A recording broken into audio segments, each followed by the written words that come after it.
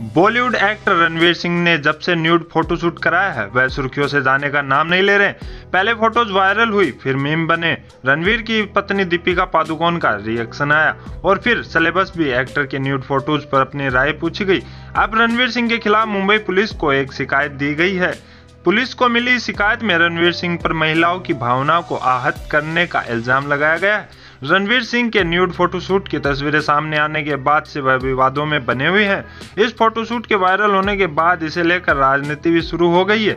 Samajwadi party के Maharashtra chief Abu Azmi ने tweet कर रणवीर सिंह के इस फोटोशूट पर सवाल उठाया है। उन्होंने अपने ट्वीट में लिखा है कि पब्लिक के सामने न्यूड होना आर्ट और आज़ादी है तो हिजाब पहनना दबाव डालना क्यों है? इसके अलावा एक के बाद एक सिलेबस के रिएक्शन भी रणवीर सिंह के न्यूड फ़ोटो पे आ रहे हैं। अर्जुन कपूर, दीपिका पादुकोण और पूनम पांडे के बाद अब आलिया भट्ट ने भी इस पर बात की है।